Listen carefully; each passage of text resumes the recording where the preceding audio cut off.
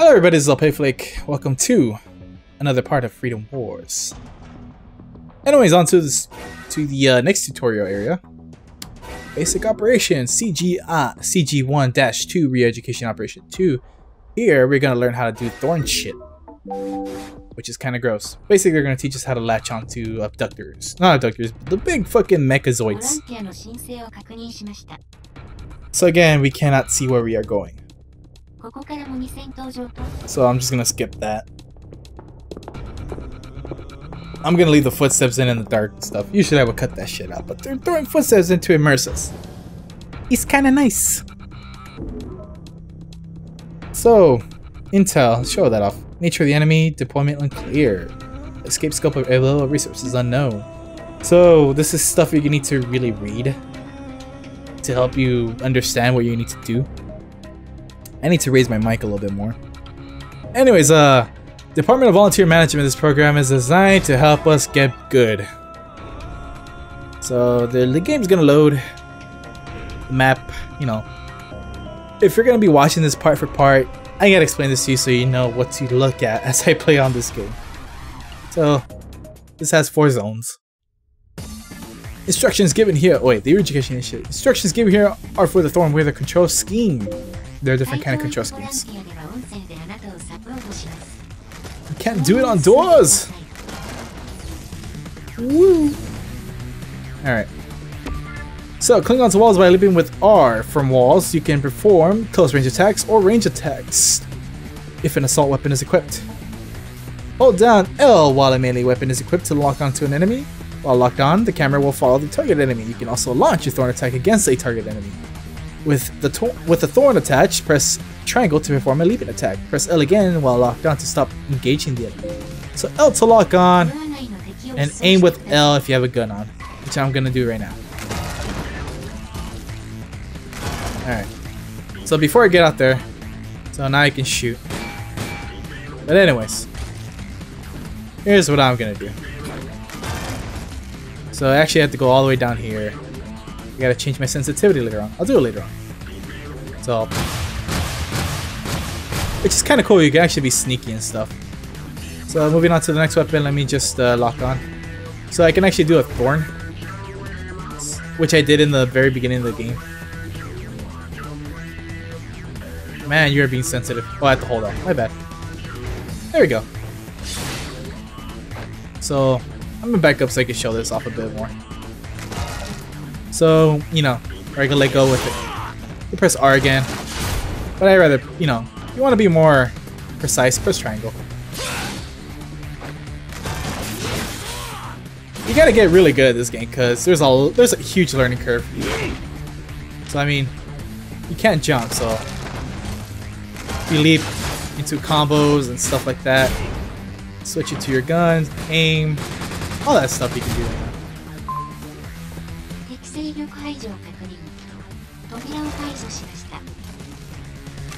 So I actually want to get this stuff. For the main reason is, you know, it's nice to have things. Alright, I don't think I could do anything on this. No, I can't. Anyways, if you press square while you're in a gun, you can actually just shoot like this. It won't be less accurate, but It'll work. I mean, it counts. So on to the next mode. You can see there's a big eye thingy there. Charging the Thorn.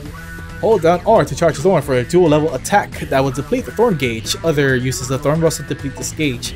Charge 1, Sinner Snare. Presses a trap to ensnare sinners in the vicinity. Charge 2, Binding Thorn.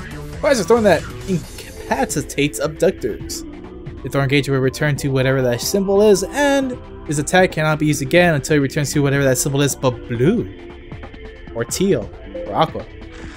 I don't know my colors. So you can shoot this motherfucker down. These guys are gonna start attacking me now, so I'm not gonna aim. You can actually run and gun away. But some people will, you know, if you're PvPing, they'll just latch onto you. That's pretty cool. I mean, if you, like, let's say there's a floor is lava, I'm pretty sure this game will have that. You might want to want to do this. Or manual shoot. So yeah, there's a lot to this game. You gotta know your buttons. The reason I didn't play this when I started checking this out is because I like, oh man, you gotta remember this shit if you want to get good. So anyways, go into my fem uh, female. So you can actually latch on. I'm just pressing square, or I can sever this motherfucker's arm off. Since he was already weak, I also got a trophy, you know. Yeah. So I'm gonna charge this. But this time I don't face him. This is what I mean by charging. So I actually knocked him down enough I'm gonna let him get up so he can show off something else. I don't think I could be able to show this off though. I didn't want his adrenaline because I want to press X. You can also pick up their body parts for materials. So that's something you gotta keep in mind. So lock on, hold the L. Look at all those limbs you can lock onto. And I'm trying to remember what that limb is. The elbow, well Fuck. Forearm, there you go. So I'm locked onto this one right now. But I'm gonna lock onto the hand right now. So I, since I charge it all the way to level 3, his hand is, you know, binded. So I can drag him down too as well. So if you circle, you gotta mash it. If you have a stronger level 2 charge, it'll be a better. And you can drag this motherfucker down and wail on him. So yeah, there's a lot to this game. It's just... I can tell already. Like, I didn't even play this far. I think after this mission is when I stopped playing. I can tell there's going to be a lot to this game. And the control scheme is very unforgiving. So pick up the materials, move on. I'm going to go with my gun because I have a feeling. Well, to me, it's just quicker, this tutorial end. So here's another one. When locked onto an abductor, the color of the targeting circle will vary depending on the component's characteristics. The blue is a pod, circle is a cerebral component, and uh, yellow is vulnerable to drag down. So red, cut them down. Blue is just, I don't know what it means by pod. And, uh, you know, yellow means you can actually bring them down. You can use the right analog stick to move between lockdown targets, which I was doing earlier. When clicking onto the blue pod, or a red cerebral component, press triangle to start cutting. Keep tapping the circle to deal continuous damage, or press X to lead to safety. Because sometimes, like, Shadow the Colossus, they will fucking want to swap you down. With the thorn attached to the abductor, press circle to exit the drag down or to show this off. So, I didn't get to show off with the gun, but let's do that real quick. So level 2. Level 2, you can actually make something that help you out, assist. Because you can actually be, everyone's a healer in this game. So anyways, I'm gonna leap into him. Not leap, well I'll do a leap attack. You actually tag him with your melee weapon. But since I didn't, you know, I did a leap attack with the gun on. You actually want to do, not do a leap attack. So I'm locked on, on him, on top of him. And look as he's moving, I'm still, you know, moving around with this mother. So I'm gonna switch the weapon. I'm gonna sever this fucker's arm off.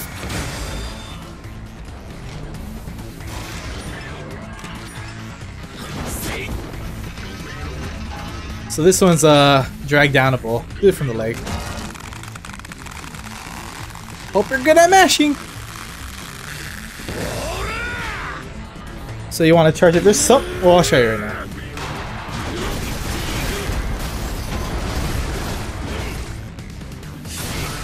So let's do this before I destroy it, because you actually need to do it.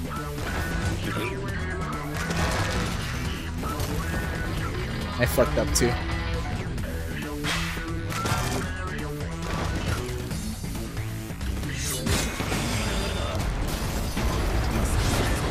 Since as I leap to the core, I can actually save someone. A citizen! Citizen Reclamation, page 1 of 2. Citizens Reclamation is the process of transporting freed citizens to Resource Reclamation Units, RRUs. Reclamation, my bad. Citizens are identified by their unique attire, and that's their attire. Press circle when sending your citizen to pick them up. Press X while carrying the citizen to make an evasive leap. This is crucial, I assume. And hold on X to run. Note that sudden changes of directions are not possible when running with a citizen. Take care to not run into obstacles as this will cause you to drop the citizen. So you can trip and you can't turn as you run. So you pick your direction and stick with it. And then you gotta dodge. You can also leap. It's better to run. See? Just showing that off. You can drop them. And you get a trophy for that. As it shows on the left, it shows you what you're doing It's not mostly for you, but for other party members. You can't leap over this stuff. At least I would assume. But you can't take cover. So that's kind of cool. And it's just let them go right next to the pod and you're good. What? You're supposed to go inside. That was whatever.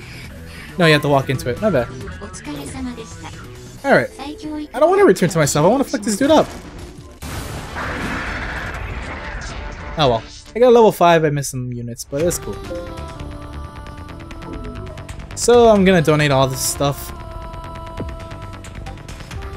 Donate everything. Donate everything. I have a feeling I should keep the first aid kit, but I'm not going to.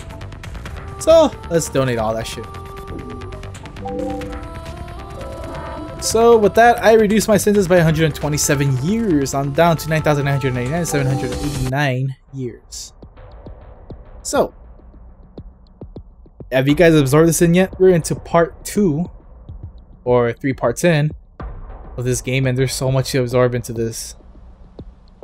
So much! お疲れ様でした。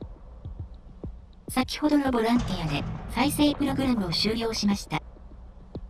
再生プログラム終了に伴い、隣と管理メニューに新たな機能が追加されました。イェーイ追加された機能は武装整備です。For those who aren't familiar with um, FPS or TPS games, or uh, what's the word? RPGs, some RPGs, I guess, tactical ones. Loadouts are basically set slots, like let's say slot section 1 or loadout 1 is my melee loadout, or uh, section 2 is my I'm gonna be a healer loadout, you know, stuff like that. I don't think I need to go into the menu for that. And she's pretty much explaining what I just said. So, low, uh, fuck it. Loadout, select your weaponry, thorn type, and combat items. Select your accessories, weaponry, combat items, and direct orders.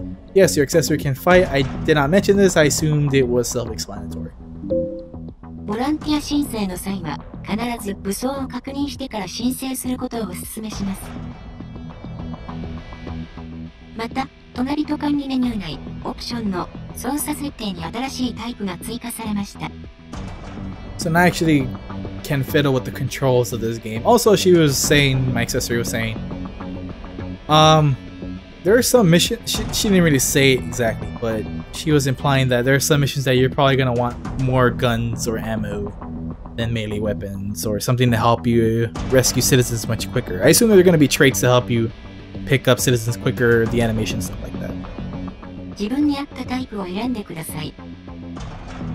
So you can also fit around with the control type. I will go to that right now to show that off. Loadout, I'm just gonna take off the new real quick. Actually, loadout, you can also, you know, load out your accessory too. I'm most likely gonna make my accessory range bazooka type person.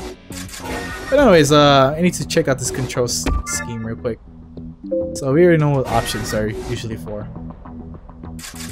So there's a, a hunter type, like, um, you know, settings that you want your controller based around. So if you're, this is the default one, the Thorn Weather one. But the Hunter, the Sprinter, and Technical. So like hold R to dash on, you want to use, you know, whatever suits you best. I'm to check these out later on, so just feel like showing that off. Display settings, I'm to go here real quick. I just want to know what this is on. Okay, this is on Action Deck on. There's some things I need to check out real quick. Maybe I'm missing out something. Don't need to show that.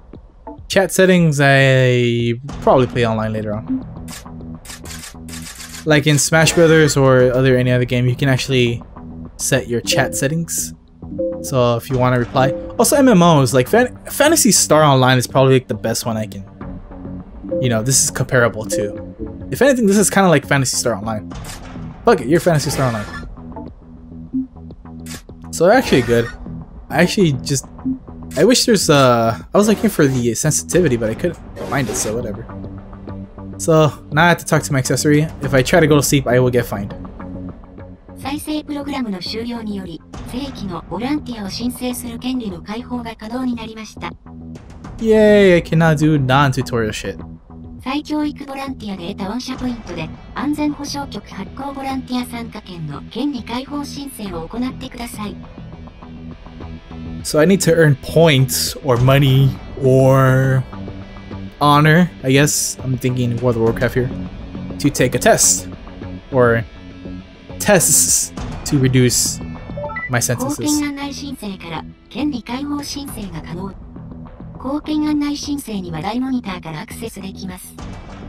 Alright, she's talking about the eye. The window on liberty.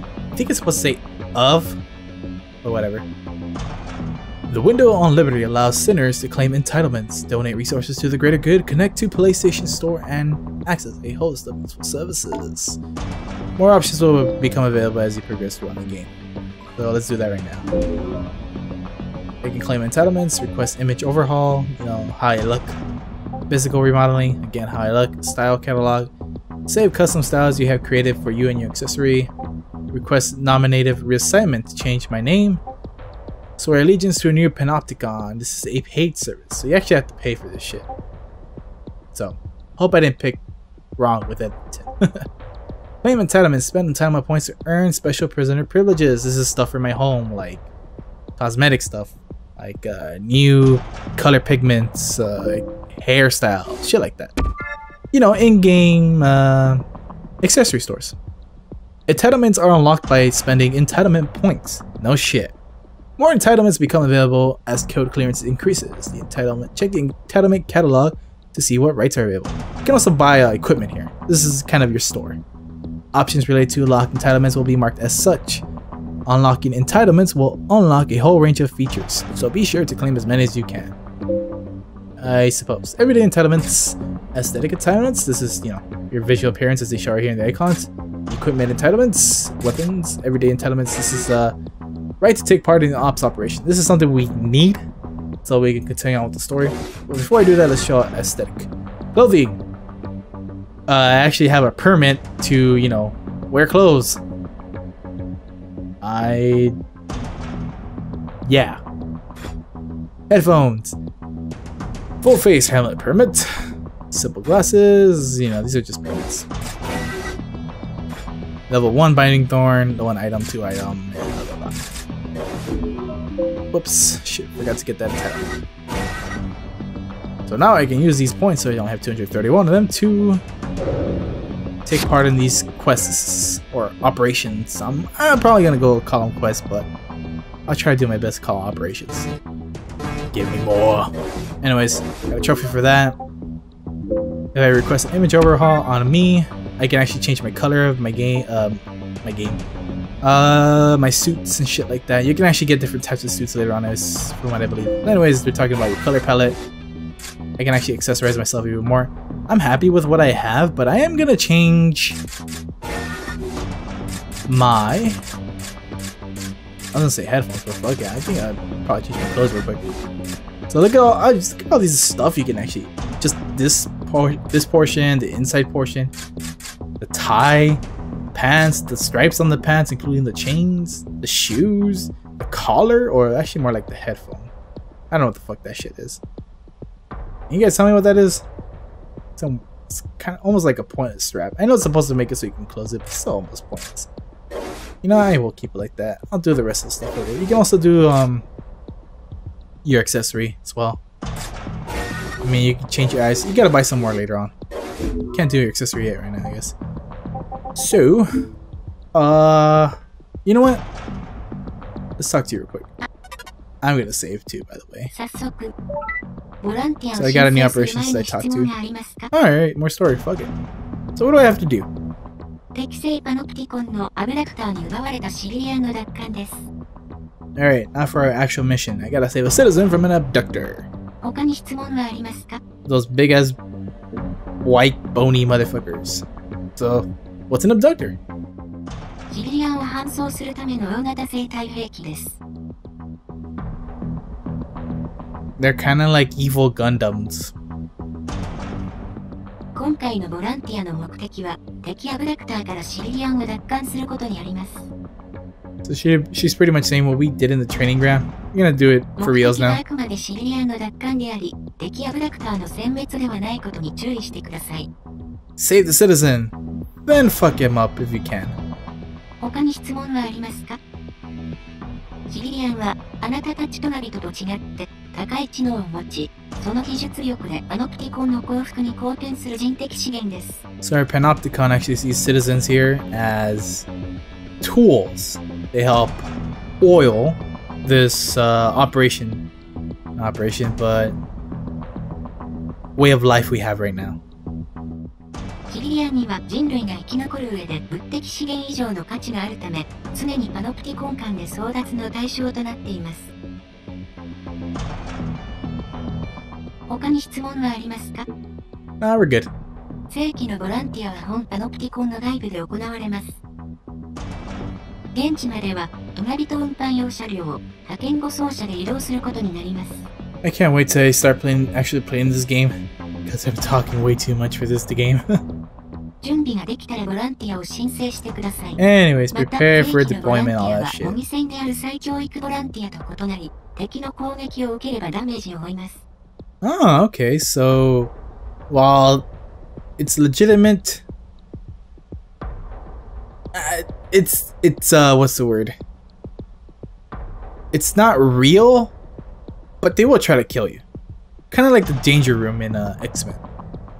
Like, there's no huge threat.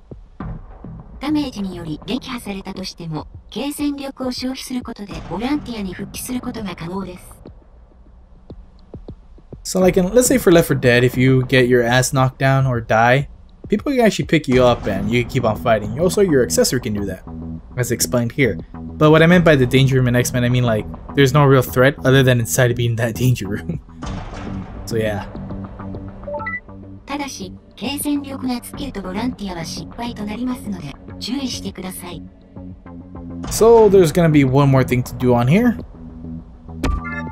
The final tutorial level shows what you can do now. Anyways, in operations sustainability, that blue-looking galaxy Neptune icon anyways tells you how many times you are permitted to be redeployed after being incapacitated. If it reaches zero, this operation will be con- considered a failure.